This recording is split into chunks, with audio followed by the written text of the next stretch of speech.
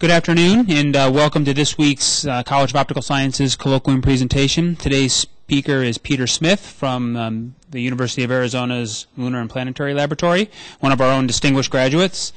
Um, Peter is the Thomas R. Brown Distinguished Chair of Integrated Science and has recently been the principal investigator on the Phoenix mission to Mars that was led out here at the university.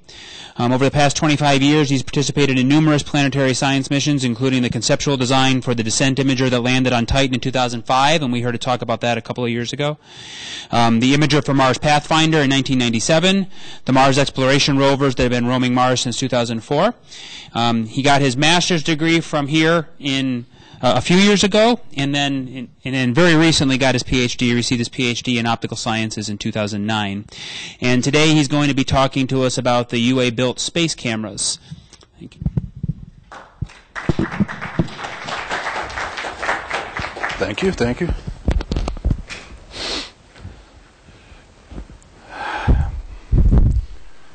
Okay, I need some optics to see where the button is.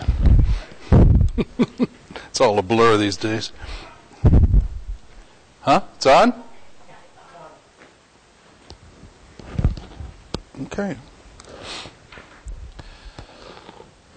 Well, the UA uh, space cameras. I'm not going to talk about every camera built at the UA because that would uh, be a much longer lecture. Just the ones that I've personally been involved with in some way. So, actually, I uh, started here in 19. 75, which is uh, seems an awfully long time ago. And uh, I had come from the University of Hawaii, where we'd built UV spectrometers to fly in sounding rockets just outside the Earth's atmosphere. You had about 10 minutes to observe the sun. Of course, you had to point to the sun, so that took some time. And then you took some observations, and the thing came back to Earth on a parachute you jumped in a helicopter, went up and got it, pulled the film out and developed it and see what you have. Now, I recommend, if any of you are interested in space instrumentation, that you try and find a sounding rocket program because within a year or two you can go through every aspect of uh, space instrument development. So it's a great training program. And if any of you are thinking of following in my path and building space instruments, really a good way to get started. But when I got here at the uh, Optical Science Center, I was given a job working for the uh, Pioneer Project. And the PI of the Pioneer Project was Tom Gehrels, who worked across the street. And at OpSci, we were doing image processing and some of the operations planning. So we had a, a pretty big team here working on that project, and I'll talk a little about that. Oops. Now the next one, uh, was my first job after graduating with Marty Tomasko across the street, and we were using the Optical Science Center to build an instrument to fly to Venus and to descend through its atmosphere on a parachute and to look in five different directions while spinning to try and understand where the solar energy was de- being deposited in this cloud thick atmosphere. Was it right at the top? Was it all the way to the bottom? How much made it to the bottom? Because without the solar energy getting to the bottom of the atmosphere, how did you heat the surface up to, uh, what is it, 7 or 800 Kelvin? So we were very interested in the radiative transfer and the absorption of solar energy into Venus. And that instrument was built here in this building and calibrated. Uh, at that time, we had a uh, decommissioned, um, um, oh, what do you call it? Where did the Jews worship? anyway, there was a, a, temple down the street that we had converted into a, a laboratory.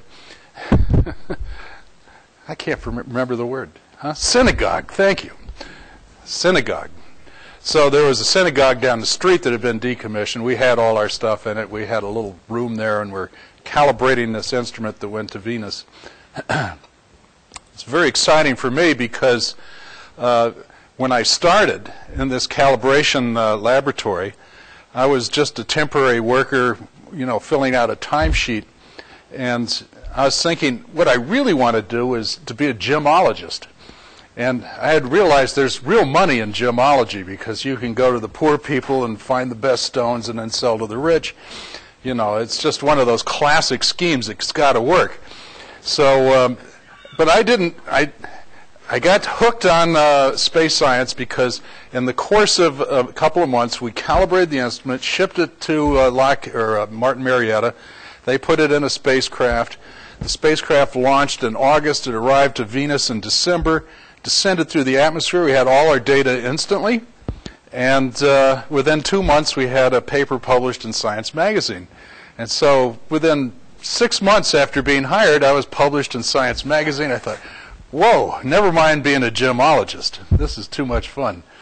So that's how I got started. Um, and then there was kind of a big jump to the, the 90s. We had, in the meantime, we had the Reagan years, which were not so good for space science. And uh, we eventually got back on track in the, in the 90s. I worked on a uh, Galileo probe that went into Jupiter's atmosphere. And my big break was uh, the imager from Mars Pathfinder which was an instrument that developed out of the descent imager uh, for the Huygens probe, which I'll talk about both of those. Uh, and then we did s- stereo imagers for and robotic arm cameras, trying to fly them first on the Mars Polar Lander, which ended up crashing into the atmosphere of Mars. Well, I guess it crashed on the surface, but it had trouble through the atmosphere of Mars and wasn't able to land safely. And so uh, after a big success with Pathfinder, we had the total failure with Mars Polar Lander. All of my other programs are canceled, and we had to start over again, eventually calling our next mission Phoenix because it was rising from the ashes of all the failed missions and uh, being sent to Mars as uh, um, kind of a, a, hero of the old technology.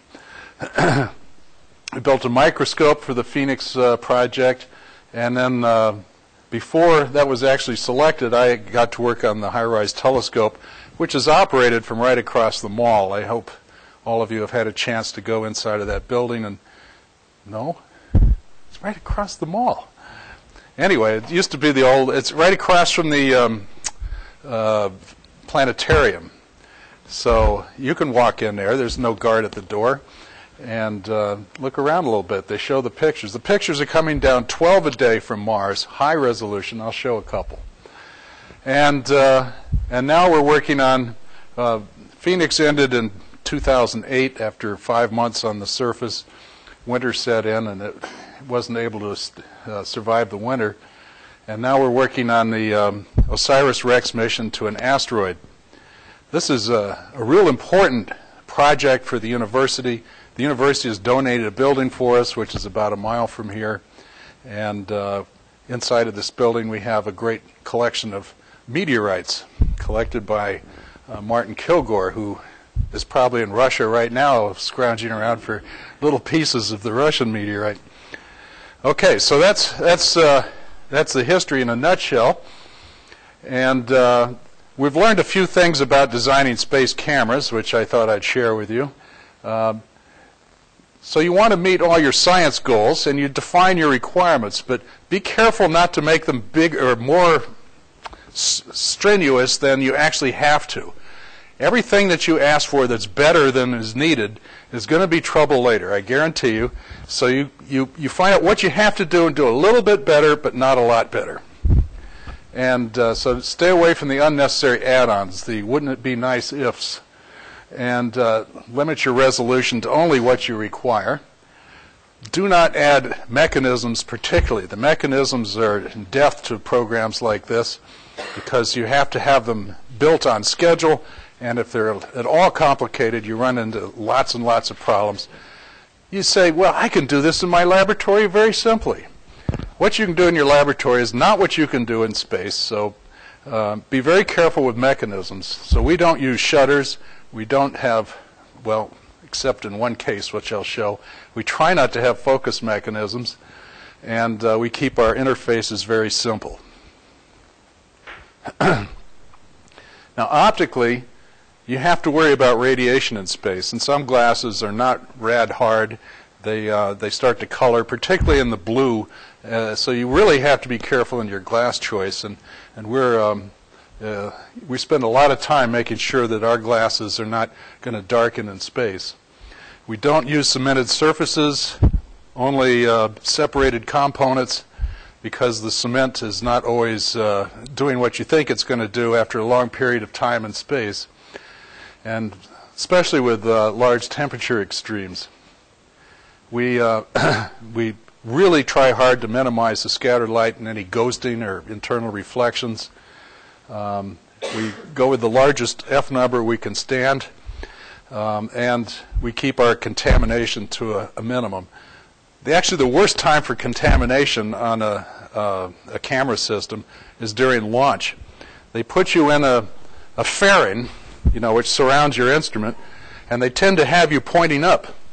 The fairing is filthy, so when you take off and the air kind of rushes out of the fairing, the dust comes falling down right on your lens. So there you are, instantly contaminated right on takeoff. You'd had the most cleanest instrument for four years before, and now it's a mess.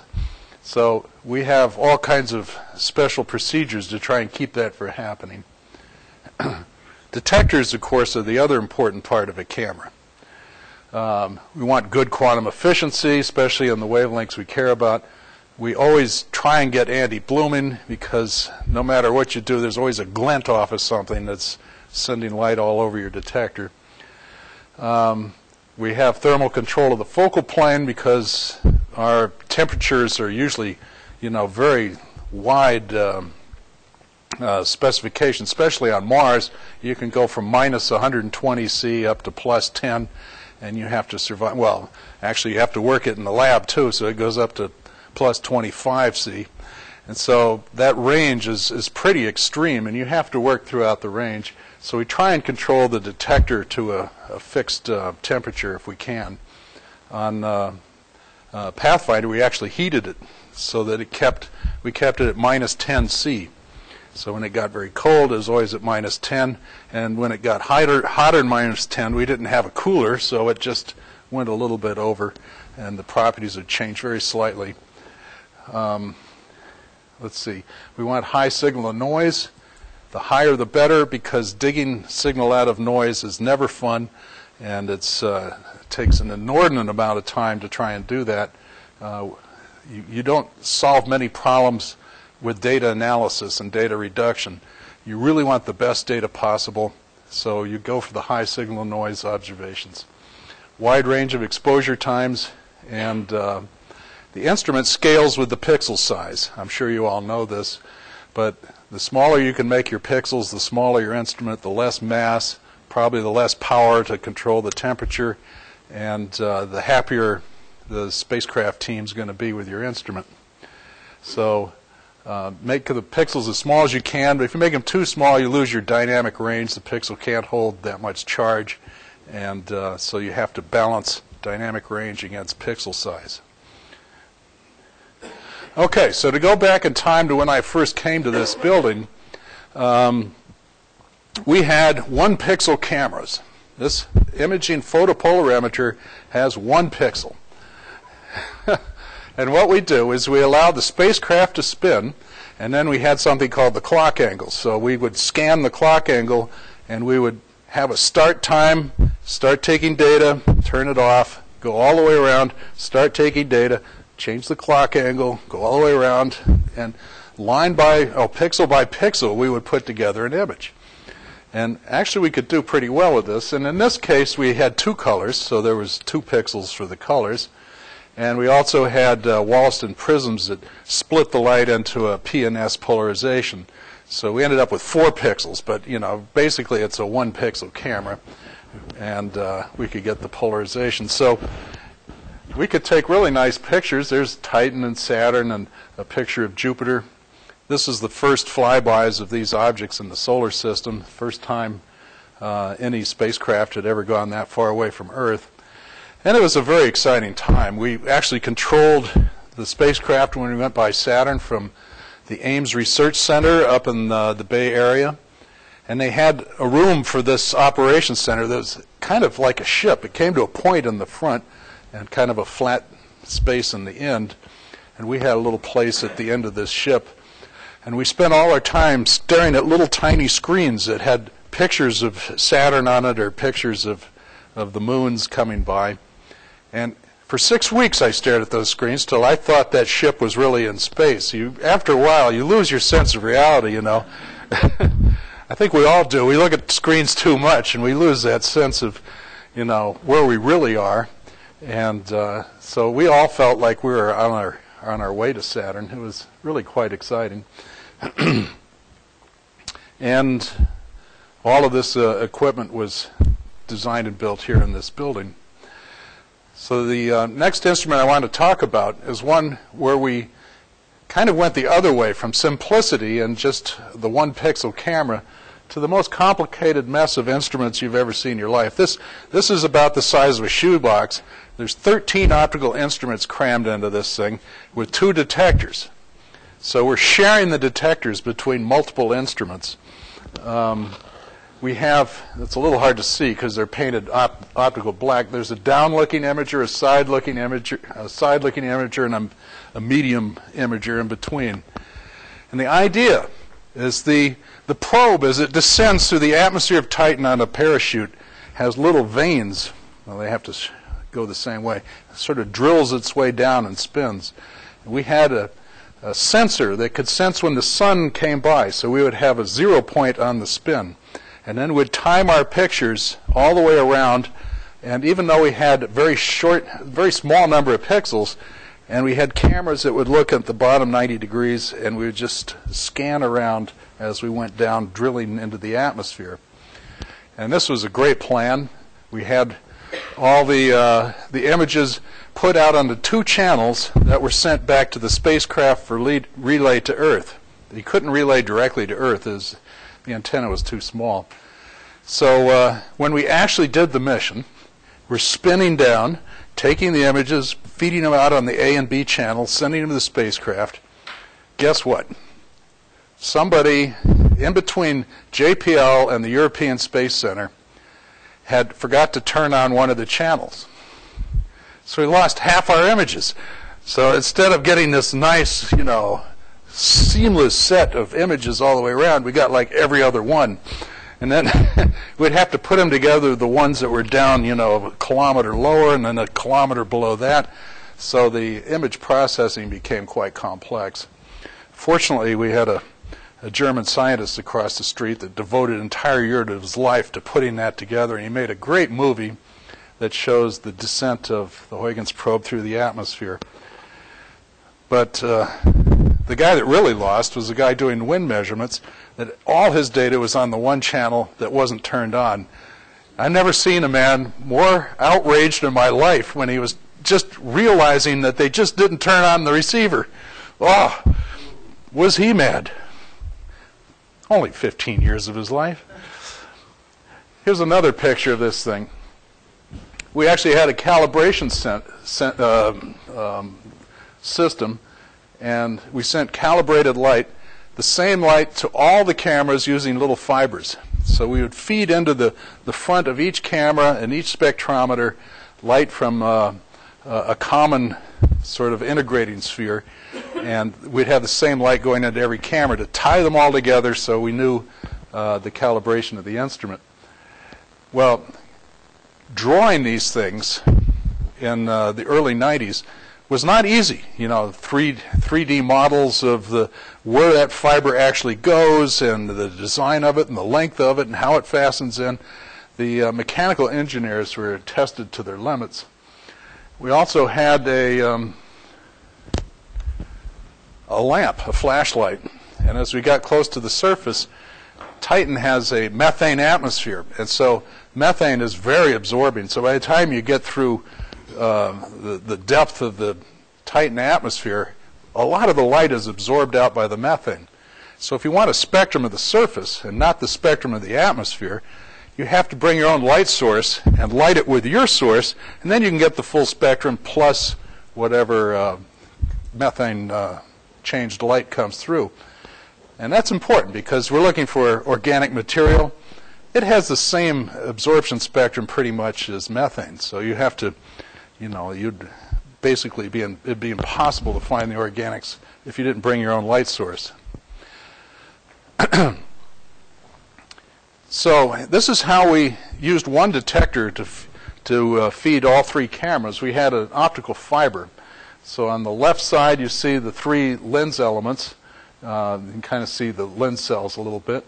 and then there's kind of a, a long um, part that goes all the way back to here, and the detector's back there, so the lenses are up there. And what's what's inside of that? Um, well, it's inside the detector. There's the detector. It's got frame transfer, so it transfers from that black area down to the white area, which is a covered part of the detector. So all the, the light uh, irradiated pixels are quickly transferred and then slowly read out. Quickly transferred, slowly read out. So that's how we do the shutter. And uh, the, on the left, you see the storage array below, and above, you see those different areas. We've split the detector into the three imagers, and we've added an upward looking and a downward looking uh, spectrometer. And up at the top, there's four little bars. That is a solar aureole detector. So to measure the solar aureole as we scan through it, we have detectors for that. So we are using this one tiny little chip with three imagers, two spectrographs, and uh, four sol- solar aureole detectors. Solar aureole being the, the um, polarizations on either side. and red and blue, two polarizations, so we got four. So there's a, a drawing of the fiber. And this fiber was very difficult to make because you had to make the three imagers, you had to make the spectrographs welded in, and the four solar aureoles. It was a, a real challenge. We had a, a company called Collimated Holes. And Collimated Holes made the uh, fiber bundle. And there was one guy who could really do this right. He was able to focus like nobody else. His name was Crazy Larry. And Crazy Larry lived in a trailer out in the parking lot behind the building. and so Crazy Larry had finally put together our flight model of this thing, left it on his desk with a note, and the note said he was checking himself into an institution. and his trailer was gone. Well, the fiber wasn't quite right. Crazy Larry was gone, checked into an institution, and we were left with a fiber that wasn't quite to the design, and we had to work around it because there was no other way to make this fiber. So we were, you know, we had to adjust our, our design a little bit. Um, this chart shows the effects of radiation. To get to uh, Saturn system, you have to go by Jupiter, which is highly radioactive or I'm sorry, uh, yeah, that's radio. Anyway, the high radiation flux at Jupiter. And you can see uh, this is the amplitude of our dark noise, and uh, this is by line. So as you scan a, a, pixel down, it has spends more time going down from the top than it does going from the bottom. So you can see when we before we launched, uh, halfway to to Saturn, and then when we got there, the dark counts going up, up, up as it's being impacted by the radiation, particularly around Jupiter. The other uh, things that made it difficult to reduce the data is that the fiber came right up next to the chip, and the fiber is made in little bundles of fibers, and you can see uh, that there's kind of a egg crate, egg crate, is that right? Kind of a, a, a, a fence-like pattern or egg crate pattern and a lot of black dots. The black dots were to prevent crosstalk. You, you put little black fibers between the, the individual um, uh, optical fibers and they absorb light so you don't get crosstalk between the fibers. But sometimes uh, they don't work just the way they're supposed to and you get these little speckles. So all of this stuff had to be taken out of the images. This was our flat field. And again, you can see we're only 512 pixels by 256 pixels, and over here would be the spectrometers and the solar aureole. But despite all these difficulties, we managed to image the surface of Titan for the first time ever, and we saw a scene on the left that looked very much like the coast of Italy. With little river system, this would be where um, methane has rained down to the surface and flowed along an icy mountain range because the mountains are made out of water ice and flowed down into something that looks like a lake. This is definitely a shoreline. And now we know there are many lakes on Titan and uh, probably with methane, ethane uh, liquids in them. And on the right is the picture taken after landing. And those little boulders are rock, rocks made of ice. And they are rounded because they've been flowed down through that river system, and they look like river rocks.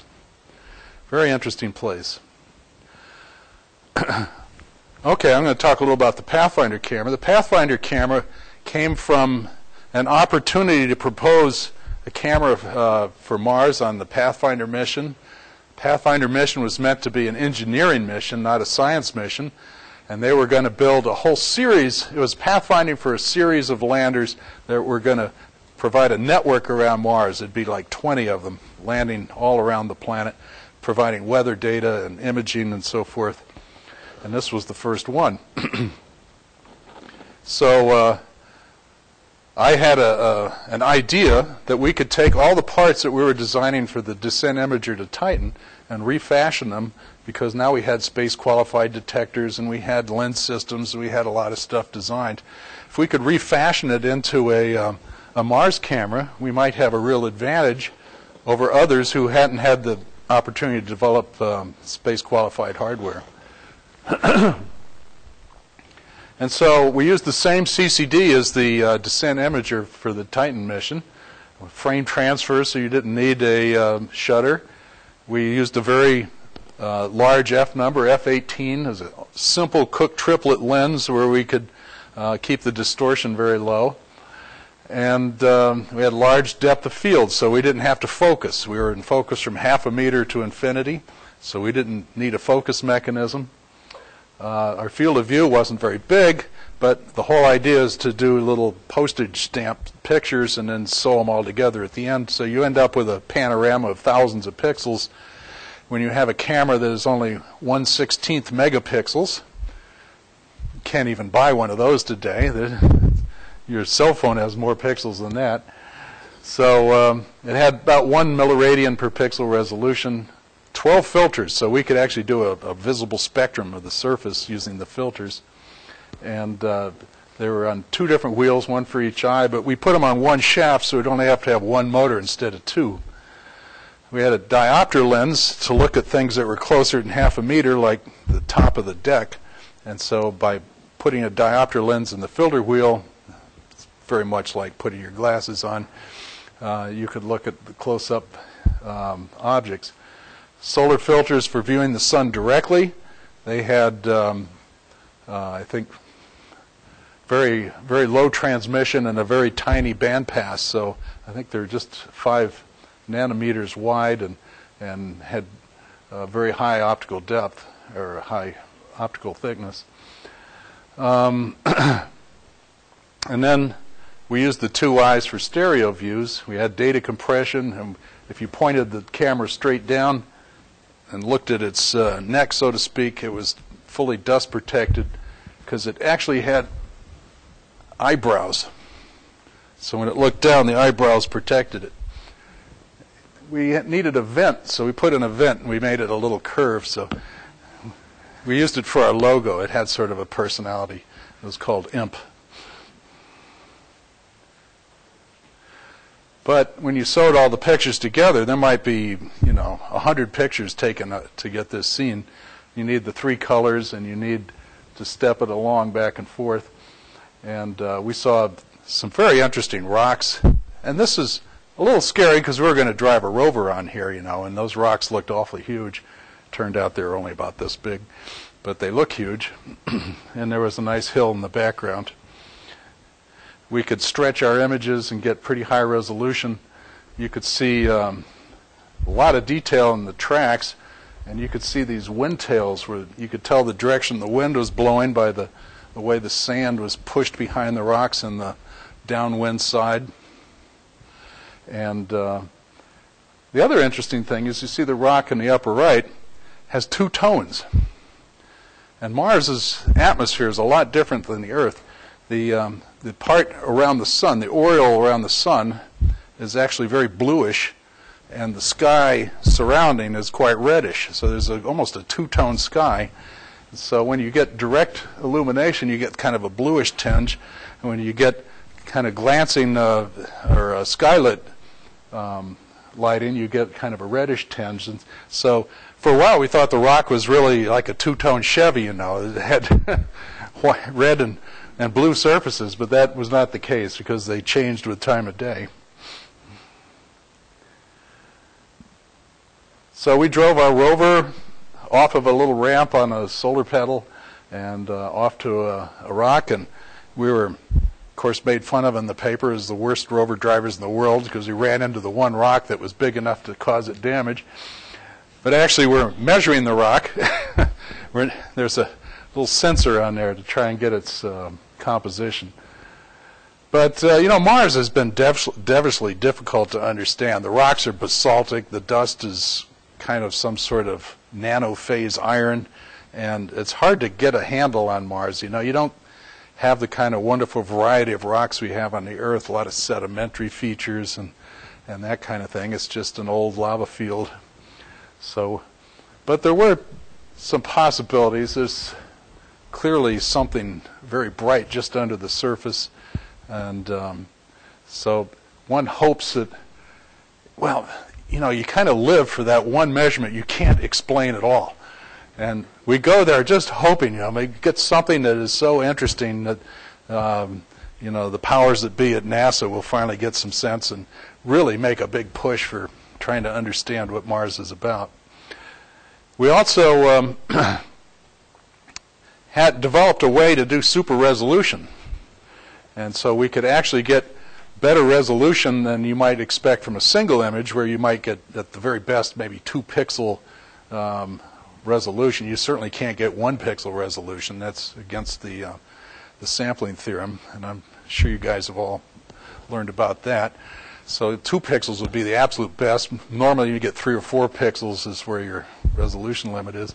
But if you take many pictures and just move the camera slightly, then you can put them back together. You have to line them all up again, and now you can get a little better than the pixels. And we called that super resolution. And you could do stereo, and if, if you had a pair of the right glasses, you would see that this is a very nice picture. But I didn't bring any glasses, so you're going to have to take my word for it. But we had a lot of fun uh, doing that kind of thing. And the mission, we knew the mission was a success after it was over when uh, the postage service uh, issued a stamp. And they charged three dollars for this stamp. So we, we knew this was a good mission. You know, they put it on their high price stamp and not the cheap. Well, there aren't any cheap stamps anymore, but maybe postcards. It's not a postcard stamp. This is a real um, um, well, what is it? What kind of stamp is it? And it's some package stamp, I guess.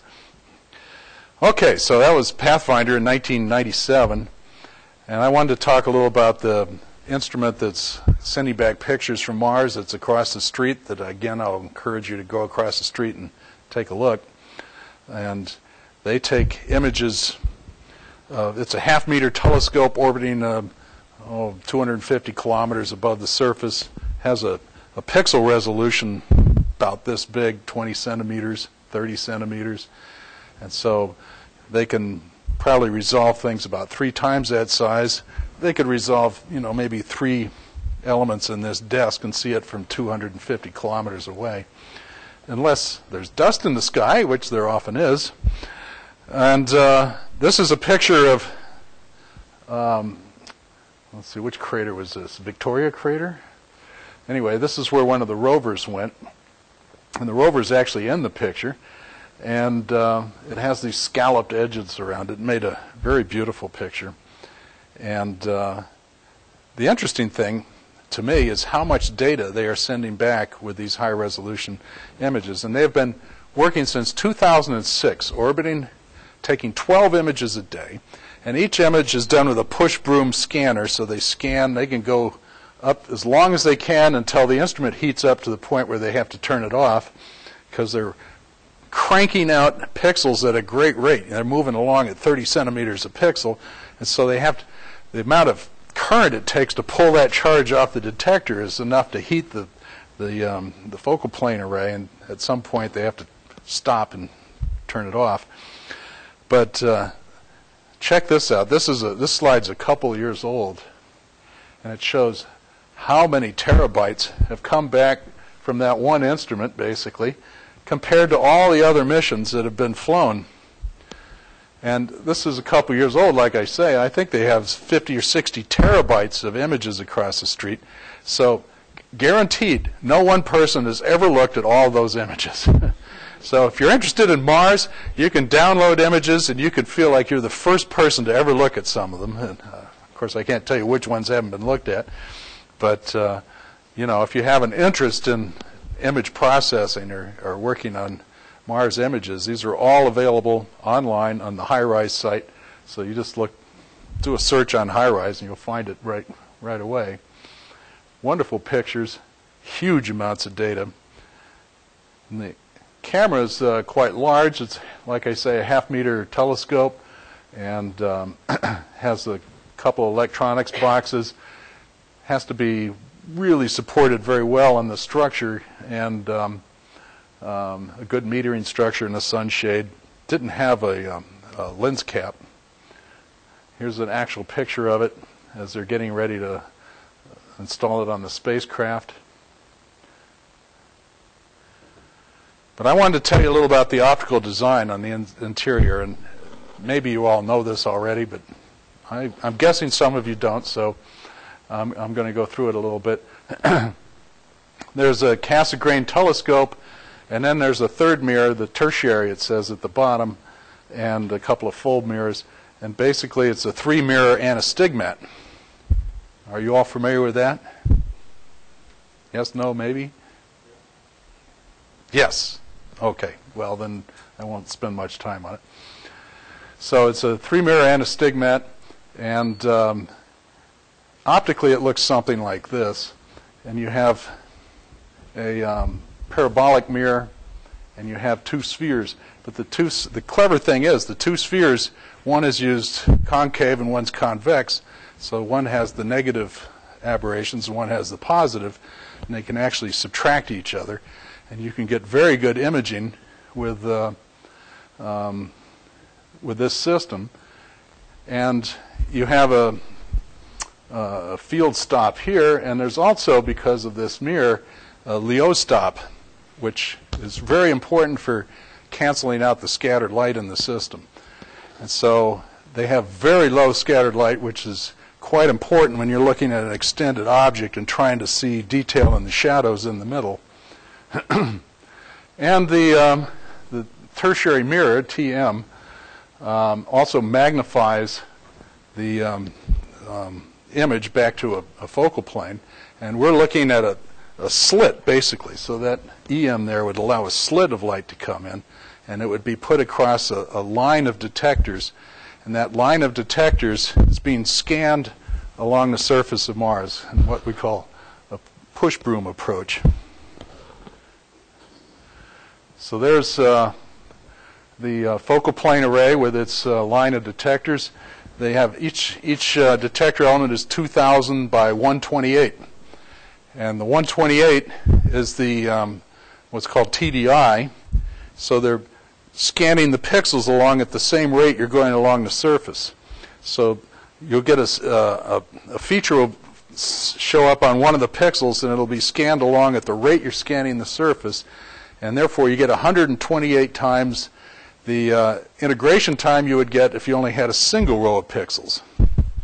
See what I mean? So you got Otherwise, you're going by so fast, the exposure time's so short that you really can't get good signal noise. So they have they boost it by 128 times by scanning it along, and you have to line the thing up with your tracking direction. So um, there's a little bit of trick to it, but they've figured it out, and they actually not only have the 20, I'm sorry, the 10 sensors, each one with 2,000 pixels, but they have four others that have color filters over them. So now they've got, for the strip in the middle, they've got three colors. And uh, you get long strips of data like shown in the lower left. First thing they looked at was the collection of debris that we've put down on the surface of Mars. And there's the polar, uh, uh, the Pathfinder parachute and um, uh, back shell and the Spirit, the Opportunity, the two Vikings. He found all of those. But he has never found Mars Polar Lander, which disappeared and crashed in the southern uh, polar region. So that is something that's still being looked for, but chances are slim, I think. Then they can turn around and look out and see um, the moon Phobos, which is really quite amazingly beautiful. A huge crater, I think it's called Stickney crater, and uh, all kinds of discolorations. These moons are thought to be captured asteroids because they have, for all the world, their spectral qualities are those of asteroids in the asteroid belt. then, with the 3D imaging that you can get by scanning, taking a picture of a feature from one side, and then when you come by again, you take it from the other side, and you can make a stereo image, and they can actually get height information, and they can see some of the layered terrain and really a very beautiful rendition, which allows them to kind of make an attempt at understanding the underlying uh, structures uh, geologically.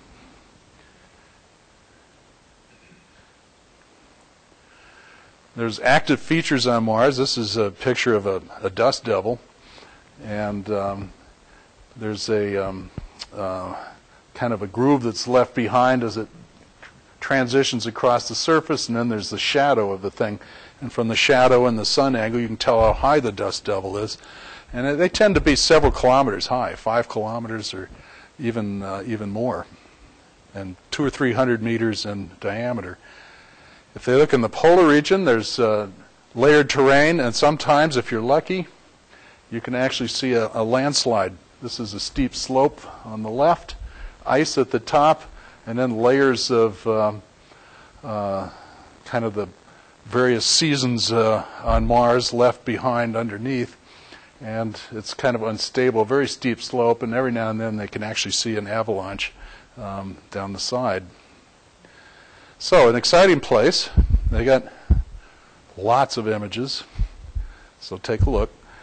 And then uh, for Phoenix, 2008, May 25th, we had a a big party here for the landing. We ran this mission from Tucson at our operations center on Drachman and 6th. Um, landed the old fashioned way using thrusters. There were no airbags, no sky cranes. This is the way that Viking landed in 1976, and I think it's uh, worked very well for us. the uh, HiRISE telescope actually took a picture of us while we were landing on our parachute and that box, uh, this box here, shows the parachute, which is blown up down here. And it's a little hard to tell on this projection, but you can actually see the lanyards that are holding the parachute to the back shell.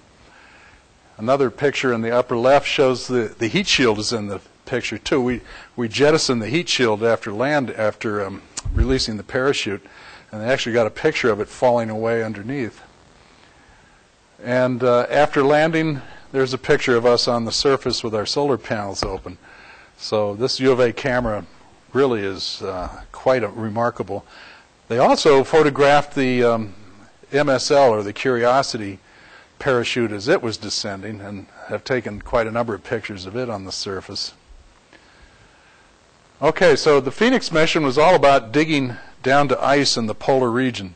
Uh, basically, we were convinced there was going to be permafrost. We wanted to dig down and try and understand the properties of it.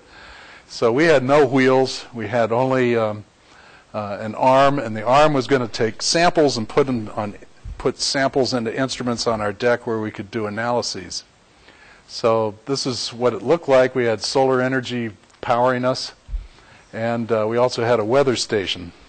There's our camera up on a mast. There's actually three cameras on here. The one on the mast, the surface stereo imager.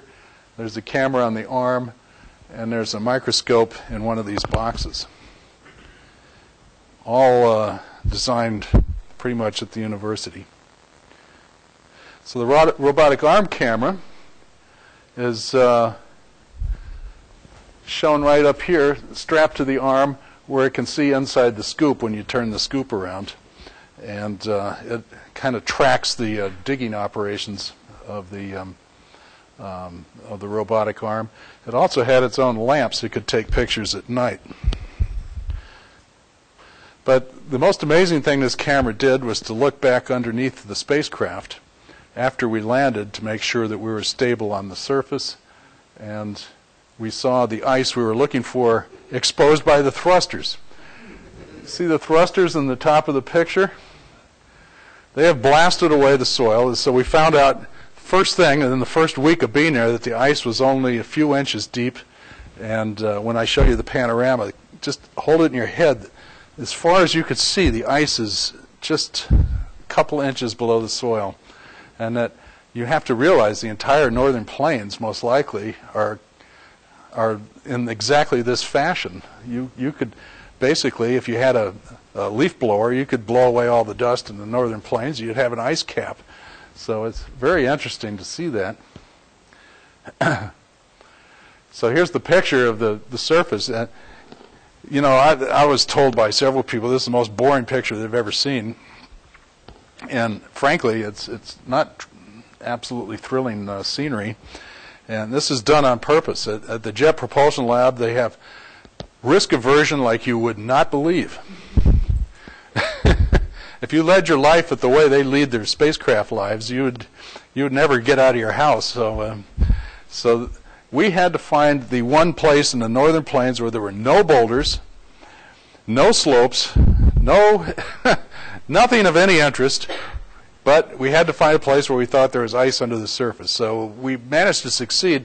But of course, the consequence is the pictures are absolutely a parking lot in there. but when you dig under the surface just a little bit, there's the ice. So we were happy. Could have been worse. But you also, it's not as flat as I make it sound. There's these little grooves around, and so the, the surface has been expanding and contracting because the ice uh, uh, when you change the temperature, it'll expand and contract, and it actually shapes the ground around it. And over time, you can actually get a uh, almost like a convection current going. And so, uh, you know, it's kind of a interesting place if you like uh, permafrost geology, and, and, some of us did. So we did uh, a terrain model using uh, the two eyes of our camera, and we could make a pretty accurate terrain model. And these are those little mounds the polygons that form from the expansion and contraction of ice. So we uh, dug trenches in the peaks, and we dug trenches in the valleys, and we could compare those different types of terrain features uh, for the ice underneath. Now the robotic arm camera is designed to look in the scoop, so this is what it looks like in the scoop. You see a little white material, could be ice, probably ice, but it could be salt too, so you can't be 100% sure. But one thing we are sure of is it's clumpy. See these big clumps up there? We had instruments that had ports with screens on them. So the, the, the size of the particles is very small, just a few microns, and the screen sizes are a millimeter. However, if you clump it together, it won't go through the screens. So some of the screens had motors to shake them a little bit, which was fine, except they were shaking them up and down. and the, clumps didn't mind at all, you know. There's like a magic fingers bed. They were just, you know, very happy. We needed to shear them like like you would sift flour or something. But we never had any material like that in our laboratory, so we were surprised by it. We could also do a close-up with this robotic arm camera. This is one of those cameras we actually put focus on because we had to look close and we had to look far, and we couldn't seem to do it any other way. So we this is um, looking only 11 millimeters in front of the camera, and we could also look to infinity. And the, what we did is put a double Gauss lens and ran it back and forth on a track, and we could actually have good imaging all the way out to infinity. So these are the clumps that I'm telling you about. They're it doesn't make a nice, you know, porous, uh, uh, sandy kind of material. In the microscope, uh, up in the upper left, you can see the arm dumping some soil on this little groove right here. Inside of that groove is the top of this wheel. These are the sample holders, and then you can spin the wheel down so it's vertical and move it back in front of the camera. So you can see we've dumped soil on the thing, spun it around, moved it back to the camera. The camera has lights there, and we can get color pictures. And this is uh, on a magnetic surface, so you're holding any magnetic material, and you see these 100 micron little, almost football shaped grains. Football shaped. And that's because they've been blown by the winds and spun around and knocked all the corners off. And um, so this is definitely wind-blown material. Speaking of winds, we had a windsock where we put a mirror. We look at the mirror, and the mirror looks straight up the windsock, which would blow around. You can see a picture over there. And a little cross up there, so you could see by the cross and by how far it had moved what direction and what speed the wind was going. This was a poor man's wind sensor because we run out of money. And uh, so we were kind of scrounging around a little bit to make extra measurements. Otherwise, you have no idea what the wind's doing. Turned out to be important. We had a, a beautiful sample we collected. We had a sample collection chamber, and we poured it. And the next day, we looked with the camera, and the sample had been blown by the wind and was scattered over the deck, and none of it went into the the port. Mars is not easy. Okay, so the last camera I'm going to talk about is the um, the OSIRIS-REx camera suite, OCAMs, and it has three cameras, which are shown here in this drawing. Polycam, which is a big telescope, eight-inch telescope, being built in this department. Uh, MapCam, it's about one-fifth the focal length and the sample camera one fifth of that. So we have three cameras, and these cameras are um, designed so that if you look at the resolution versus the range to the surface, um, we we track in on the polycam, the big telescope, when we see it as a point source in the sky, and it helps us navigate to find the asteroid. And then we transfer over to the map cam for doing mapping. And it maps at about uh, one meter resolution. But if one of these cameras breaks, you can always back away from the surface and do the same thing with the polycam. So they have not redundancy, but they have overlapping capabilities. So the two cameras are really supporting each other in that way.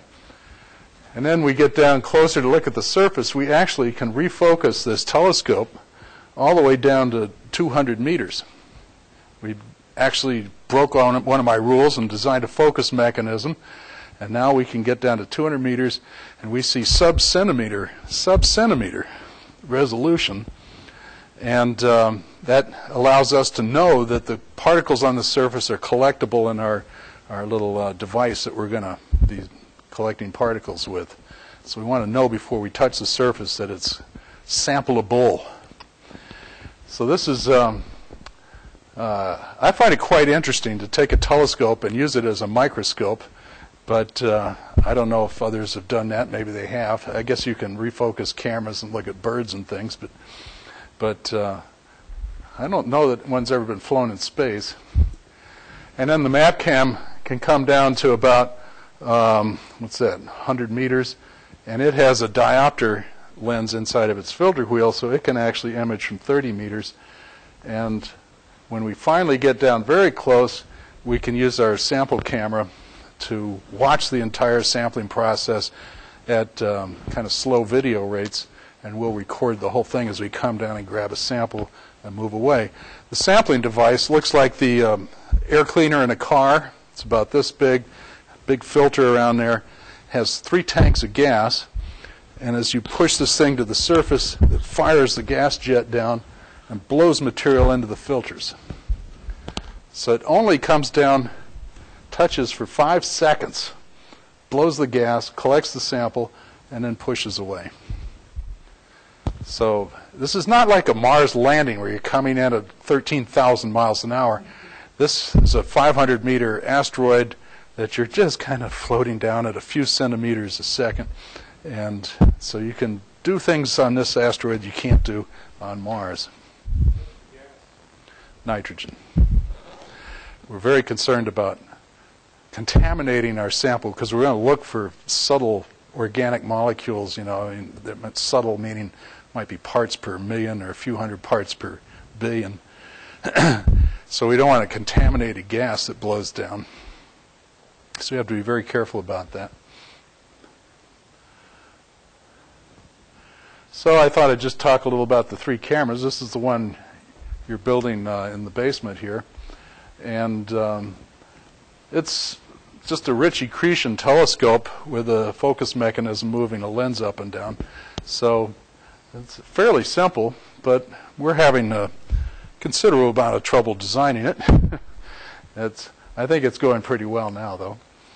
And um, this system right here is the radiator that keeps the um, detector at a constant temperature. So we radiate the heat out into space, and we have a heater on the detector to balance the, the loss of heat to space. We can keep it at constant temperature. Um, okay. And then the MapCam has five lens elements, has a filter wheel, with a, a, diopter lens for focusing. It has four color filters and uh, a panchromatic filter. And um, um, that's a pretty simple camera, actually. Not much to it. Just lens and a detector. And then the sample camera is actually cocked off at an angle because we have to look at this thing from the side as it goes down. And the, the biggest challenge we've had so far is that the sampling head is right in the field of view of our sample camera. Right there. It has to be because we're looking at the actual operation. And it is covered with uh, MLI, multi-layer ins in insulation. It's the uh, highly reflective material. So they mold this around the thing and up the arm and everything. And of course, when the sun hits it, which of course it will, it's blinding. and it over, overwhelms our anti-blooming channels and uh, floods the detector with, with light. So we're working with Lockheed Martin to try and get them to blacken and take all the specular reflections off of their coatings. It's not something they like to do. So this is an example of an asteroid. This is Itokawa, and it's about the same size. So there's no guarantee these things, because of their low gravity, there's no guarantee that they're spherical or even close to spherical. So the first thing we have to do is, is get a, a shape model for our, our uh, asteroid. And you can see in some conditions, uh, when you're making a line from the center and trying to put latitude and longitude, you can actually cut through the surface three times. So what's the latitude and longitude, uh, you know, of that, that line? It's, uh, it's, it can get very complicated. And because these things are so small, they are no longer pulled towards the center and have a, a solid core. They are just kind of loosely held together um, boulders, and you can see the boulders floating around a, there in a, a, matrix of smaller material, just kind of loosely held together. You know, if you're strong enough, you could just work your way right through the thing. So uh, it's it's an interesting object and certainly a challenge. And uh, we're going to bring back a sample and, and keep it in a pristine state, land it in uh, Utah, and then take it to uh, the Johnson Space Center to be analyzed. And we hope to get maybe two kilograms. It's about two handfuls. And that'll be enough to keep scientists working uh, for years. The, the hard part, I just found out the other day, is when you blow this material into a filter, you can have tiny little grains all through the filter material. And they want every grain to be picked out and cataloged. And the grains can be 10 microns in diameter. So some poor bugger is going to have the job of finding the grains in, the, in this filter and plucking them out and cataloging them. Won't be me. And uh, with that, uh, you know, we have U of A cameras really all over the solar system now. We've done a pretty good job of spreading them around among the planets and asteroids. And uh, thank you very much for listening.